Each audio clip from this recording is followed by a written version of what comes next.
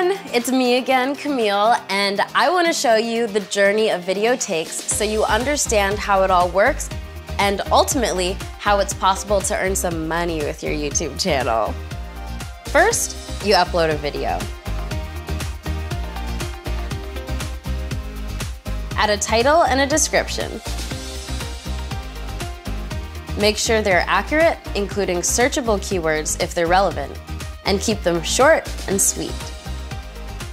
Next, choose or upload a thumbnail. These are really important because they're like mini marketing posters for your video and not everyone is going to read your title. Choose an image that best represents your video. But how does it all work? What makes some videos take off?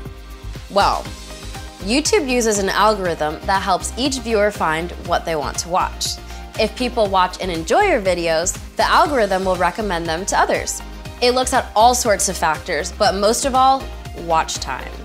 Watch time is the amount of time that a viewer has watched one of your videos, so the longer they watch, the better, and the more of your videos they watch, the more likely your channel and videos will be recommended for other viewers.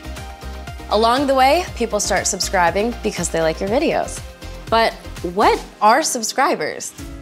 They're viewers who click the subscribe button on your channel, which typically means they want to see more of your content and potentially get notified every time you put out something new. Subscribers are really important to your success on YouTube because they tend to spend more time watching your channel than viewers who aren't subscribed. Once you have a thousand subscribers and 4,000 hours of watch time in the past 12 months, you can apply for the YouTube Partner Program.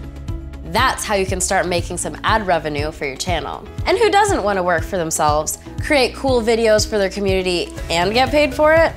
There's not a better job in the world. But what about your channel itself? How do you make it look amazing and personalize it? In the next video, we'll dive right into that. Bye for now.